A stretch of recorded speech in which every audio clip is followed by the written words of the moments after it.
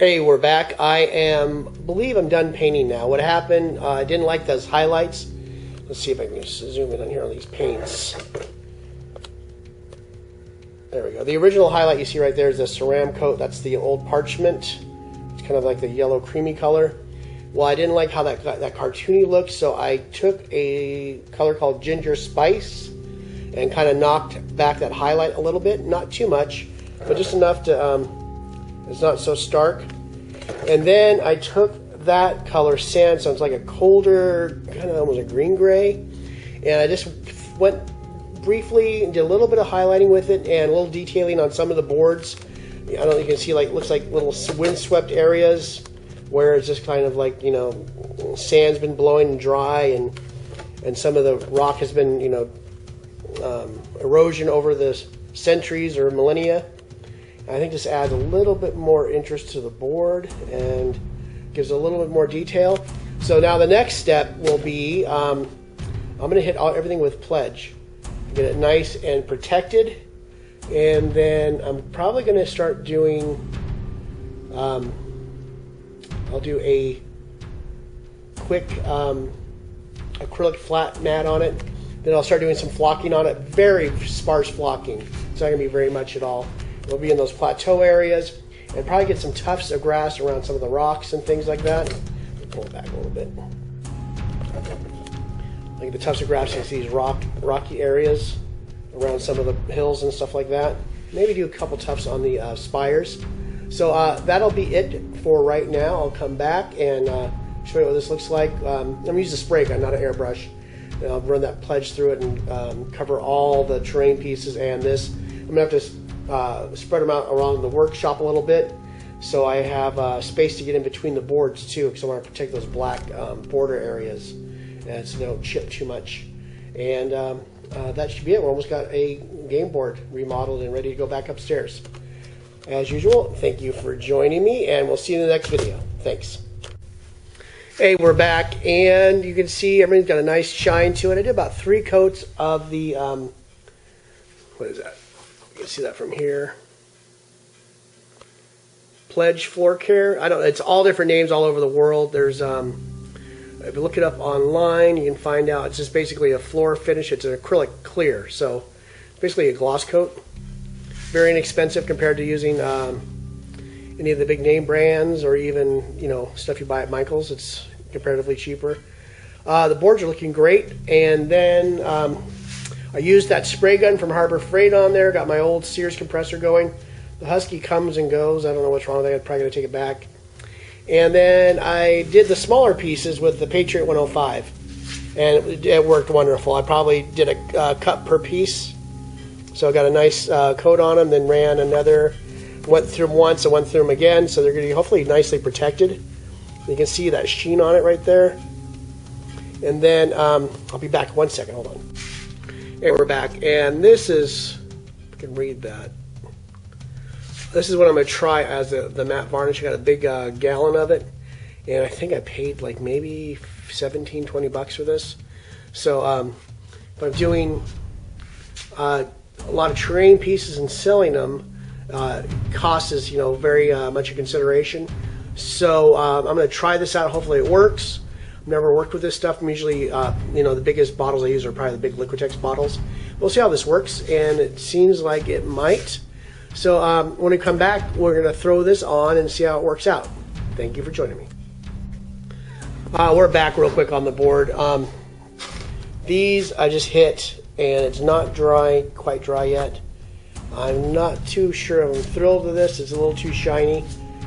Um, I put probably two coats over this, over on top of the um, floor polish, and I don't think it's uh, knocking it back too much. It's better than it was, but there's some areas that are really shiny. I'm probably gonna have to get some anti-shine um, from Army Painter or some dull coat, and hit it with that. And that'll be another layer of protection anyways, but I was kind of counting on this as being the uh, two or three coats of the um, floor polish and then a coat of this just to dull it down and give it a little extra protection. But looks like we're to have to go one more um, step. but I guess that's too, too bad. I'll just use this stuff anyways, and basically use it as a a shine varnish. It's almost the same color. So I don't know. I'm gonna let it dry for a couple hours before I start really uh, making any um, determination, and then uh, a couple hours I come back, we'll start this video series up again, and we'll go from there. As usual, thank you for joining. Hey everyone, I am back. I'm doing a test. Um, obviously, I did a couple coats of this JW Etc's Right Step. Uh, let me get that on camera real quick. You can read that here. Uh, JW Etc's Right Step Water Based Clear Varnish Matte. Uh, it is not matte, obviously. Um, that thing is glistening, looks like it someone has licked it or something. So um, I'm going to do a couple tests real quick. Um, I love the matte varnish army stuff. I love it. I don't wasting it for some reason. So I went to uh, Walmart.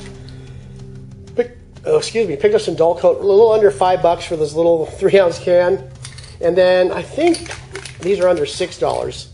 This is the matte varnish, not the crystal stuff. I think that's still too shiny. And this is 11 ounces. Um, eliminates glossy sheen. So let's do. Uh, as you see here on camera, right hand side.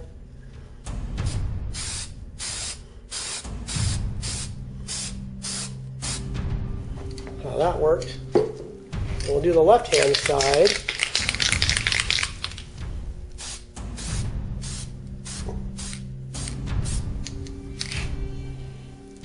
And give that a second.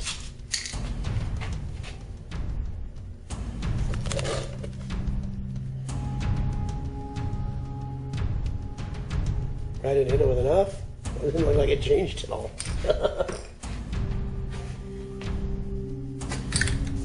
open my garage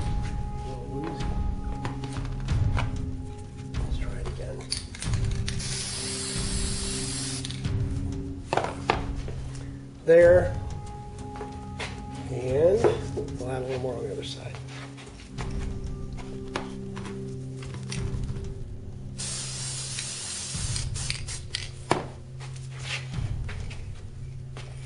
Well, I'm gonna let it dry for a second and we'll be right back.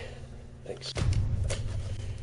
Hey, we're back, and it doesn't look like any difference between the two, and it's still shiny to me. I brought up some of the Army Painter uh, Super Matte Varnish, and I'm gonna hit this other little hill with it. You can see all that glistening coming off of there. This is obviously is making it wet right now. I'm doing it eight inches away like you're supposed to. And it doesn't look like it's knocking the shine down either. A little bit.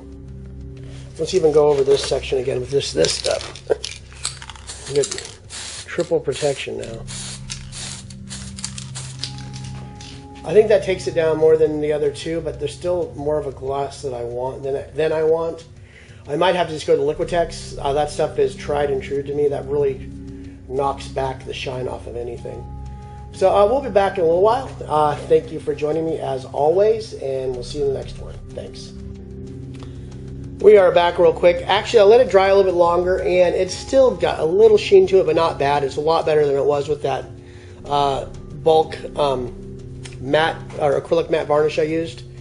And I don't know if it it should every time I use matte varnish on top of um, the Pledge Wax, it always knocks it back. I a lot of times I do use the Liquitex uh, matte varnish, which I it gives it that old look to it, which I really I'm used to. But this looks really good. Uh, the shine really came down off of that, and also you got you know really bright um, fluorescent lights. Um, I might, but a lot of it's got knocked back. I don't know why that one piece is, is really shiny. The rest of the board and the rest of the pieces don't look all that shiny. I don't know if I have like just Sorry about that. Um, I'm not sure if I just don't have uh, like a huge amount of the floor wax on there and it's just not getting knocked back, but it should. But like that piece, there's not a lot of shine to it. And the other pieces in the board, there's a couple little areas I just went back and hit it. So I've been using back and forth the dull coat, the Krylon, and the um, anti-shine by Army's painter. And it looks like we're getting pretty good results. And I think that's it for now on this board. I'm going to come back in the next part and we'll do some uh, flocking and some tufts of grass. And this board will be done and ready to go. And then I'm going to probably uh, bring down um, my little Forge World or whatever you want to call landing uh, board, the two by two, the two two by two pieces. And then I have the um, the city boards I want to do up there.